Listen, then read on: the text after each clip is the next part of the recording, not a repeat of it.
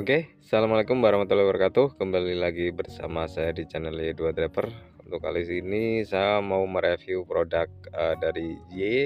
Ini adalah pompa aerator untuk akuarium ya. Di sini untuk tampilan cover depannya ini gambar pompanya mungkin seperti ini. Untuk uh, mereknya ini Y. Lalu di sini ada spesifikasi Nah, di sini untuk modelnya YKK 8800 dan 3,5 watt untuk power dayanya. Lalu untuk produk ini dia model silent untuk pompanya jadi tidak berisik. Apabila teman-teman digunakan untuk di dalam mungkin area tidur ini cukup nyaman tidak mengganggu untuk suaranya Nah, ini untuk produknya sendiri dia warna putih.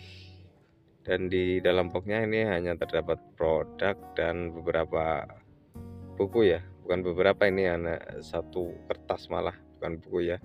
Kertas manual mungkin untuk cara penggunaan tapi ini pakai bahasa tahu bahasa mana lah.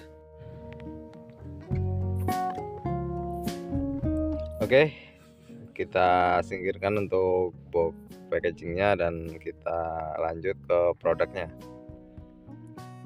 Ini dia untuk tampilan produknya. Nah di sini warnanya putih dan di depan ada tulisannya Y made in China. Terus untuk tampilan belakangnya seperti ini dan di sini juga ada lubang untuk nyantolin apabila mau digantung. Dan untuk outputnya ini hanya satu lubang ya karena saya membutuhkan uh, satu lubang saja karena akuariumnya kecil.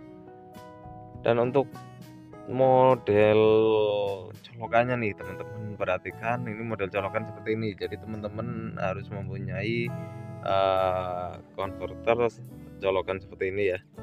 Kalaupun tidak mempunyai teman-teman harus mengganti untuk colokannya dipotong saja kabelnya dan diganti colokan biasa juga bisa Nah ini kalau teman-teman punya sambungan seperti ini ini nggak perlu di kita potong kita ganti ya. Tapi itu akan terlihat kurang rapi kalau kata saya. Banyak sambung-sambungan. Lebih baik langsung kita ganti kabelnya saja biar lebih kelihatan rapi. Oke untuk uh, harganya sendiri ini sekitar 57 ribuan beli di online. Dan ini untuk uh, pompa aerator yang lama ini dari ini kita start ya. Ini untuk model yang kecil dan lihat gelembungnya. Ini sedikit sekali ya untuk gelembung udaranya. Jadi ini mungkin mengurangi apa namanya ya uh, suplai oksigen untuk ikan-ikan yang ada di akuarium. Jadi ini perlu saya ganti. Nanti teman-teman bisa bedakan sendiri. Waktu sudah uh, saya ganti dengan uh, pompa aerator yang baru.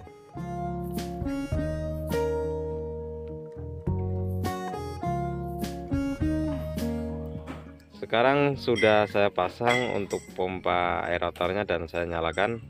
Nah, di sini teman-teman bisa lihat sendiri ya perbedaannya. Ini cukup signifikan atau perbedaannya cukup jauh dari uh, dibanding yang tadi untuk pompa aeratornya ini produk dari Y ini untuk daya dorongnya itu cukup kenceng sehingga air bisa uh, menghasilkan gelembung udara yang sesuai atau maksimal. Untuk suaranya sendiri ini cukup silent. Kalau teman-teman uh, de dengarkan nih saya dekatkan. Ini cukup silent apabila teman-teman taruh di area yang mungkin tempat tidur ya misalnya teman-teman di tempat tidur teman-teman kamar tidur ya maksudnya. Tempat tidur teman-teman ada akuarium dan mau dipakein uh, pompa aerator. Ini menurut saya tidak cukup mengganggu ya karena suaranya cukup silent.